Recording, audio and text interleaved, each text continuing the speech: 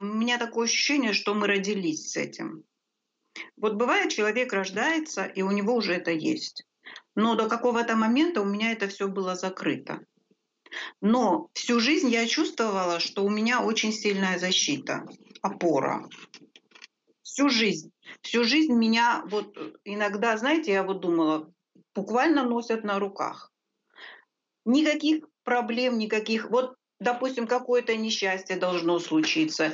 Я чувствую, что у меня как будто вот просто вот, ну, как на перине я была все время. Меня все время защищали. Меня все время отводили от каких-то неприятностей, а так, так, таковые у меня были, которые должны были случиться, в принципе. И вот это вот внутреннее чувство у меня было всегда с рождения. Но началось это вот с Дианы. И я так поняла, что они у меня не просто родились дети, это, это не простые дети. Э, это дети уже пришедшие. Мы вот, э, я почему уверенно так говорю, мы когда к Ираклию пошли, Диана повела, опять же, опять все Диана у нас. У нас Диана торпеда, а мы уже идем за ней. И он сказал, я очень рада, что я это узнала, и что я тоже очень большой скептик, и я очень ответственно отношусь к себе и вообще к, своим, к своему поведению, и к своим словам, и к тому, что я говорю, потому что это очень опасно, я это знаю. Поэтому я очень ответственна. Я лучше промолчу, чем скажу. Вот сейчас это наступил такой уже момент, вы знаете, это уже наступил критический момент. Дети мне, мне подтвердят, если я села и вот это рассказываю, это я дошла до крайней точки, когда просто я уже не могу молчать. И меня к этому привело мое убеждение, что я права. Вот это самое главное, почему я сижу здесь. Если бы я не была убеждена за все эти годы, что я права, я бы, естественно, не села и не стала об этом говорить, а информации у меня очень много. Знаете, я не общаюсь с цивилизациями как таковыми физическими. Я общаюсь, Ираклий это подтвердил, э, с ангельским миром. А, у меня почему-то связь больше с ангельским миром, то есть с нефизическими сущностями. Да, я, конечно, могу с физическими сущностями, но меня как-то они не очень интересуют, знаете. Меня не очень интересуют серые, меня не очень интересуют архонты. Меня это не интересует, у меня э, связь выше у меня связь с ангельскими э, э сущностями. Э, да, потому что я это чувствую, что я нахожусь. Вот знаете, у меня такое ощущение, что я на их уровне нахожусь. Вот, потому что и сейчас они меня поддерживают, и сейчас они меня ведут. И они ведут меня вот с 2007 года, когда Диана меня подняла, и я там увидела своих реально ангелов-хранителей, и я поняла, кто они такие. Я их увидела воочию. Я увидела этих сущностей. Если вас это интересует, я потом расскажу, потому что это очень интересно. Потому что она меня подняла сначала к ангелам, которые меня приняли с радостью. С... Мы обнимались, целовались, ну а Диану-то вообще. Потом мы пошли с ними э, выше, к архангелам они тоже приняли нас, меня-то нет, а вот Диану тоже они целовали, обнимались, как будто они знают друг друга хорошо. А, и там тоже это чувство было, знаете.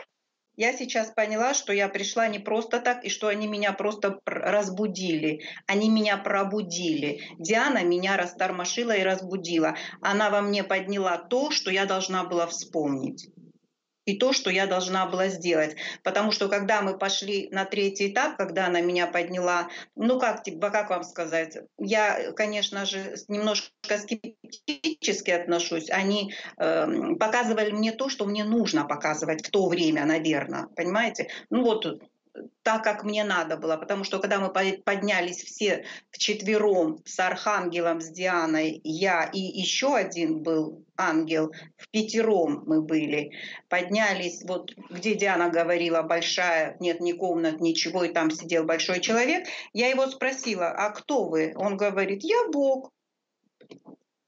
И я так, ну, ничего себе.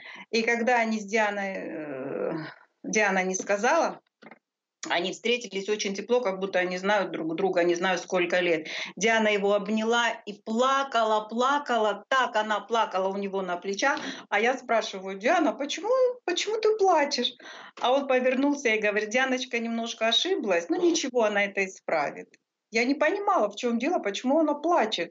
Но она так горько плакала, вы знаете, как будто когда она вот где-то долго-долго бываете, а потом придете домой и увидите родного человека. Вот такое у них было отношение. Причем я знала почему. То есть он это сказал, а я знала, о чем он это говорит.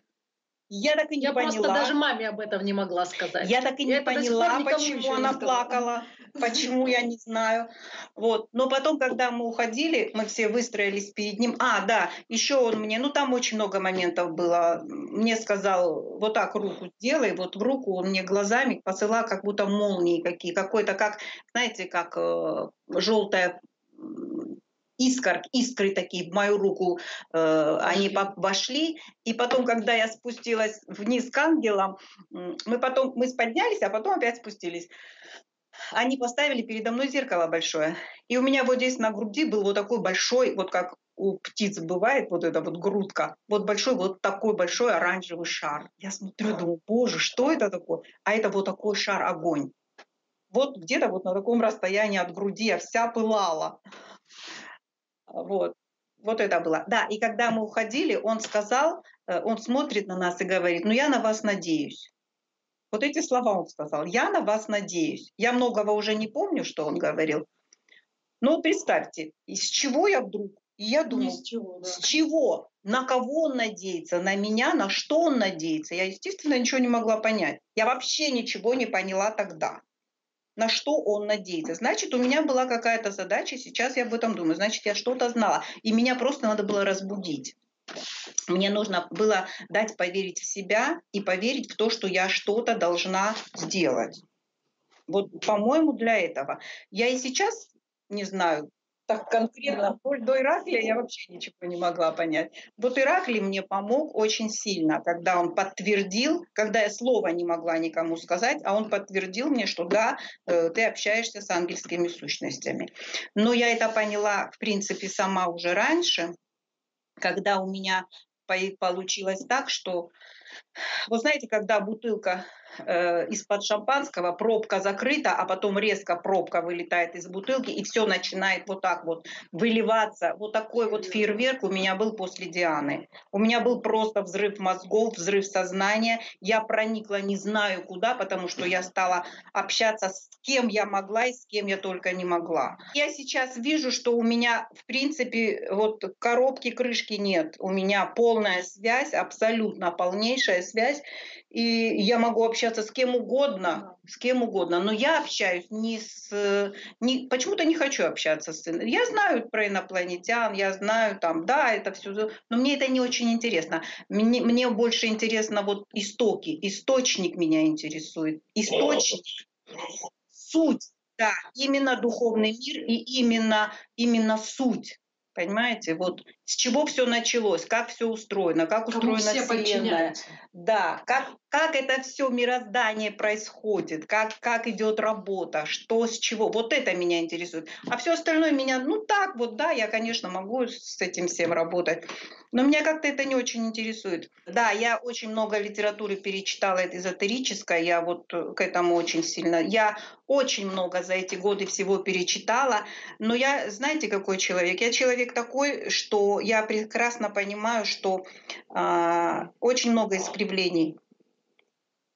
Вот чего я больше всего боюсь, это искривлений. Это э, своих своих мозгов я боюсь. И боюсь мозгов тех, которые дают ченнелинги. Поэтому я очень серьезно к этому отношусь. Очень-очень серьезно, просто катастрофически серьезно. Вот. Поэтому я не могу полностью доверять всем. Я должна проверять на себе.